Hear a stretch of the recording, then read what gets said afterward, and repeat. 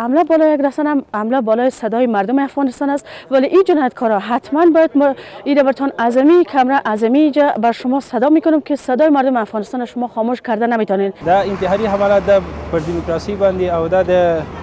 په حساب د خلکو جب بندول او د خلکو په حساب نپرسول چې حقیقت بیان کی تمام حملات انتحاری و انفجاری که تخریب کرونا از طرف دشمن صورت میگیره به خاطر از بین بردن بین بردن مردم ملت افغانستان و اینمی یگانه خشونت است که به خاطر مردم مظلوم افغانستان از طرف طالبان صورت میگیره کسایی که عملات انتحاری را انجام میتن یا اصلا اسلام نیستند این انتحاری بگانه کشته چیزی کشته میشه مردم غریب بیگناه هستند هر کسی که انجام میده به نظر من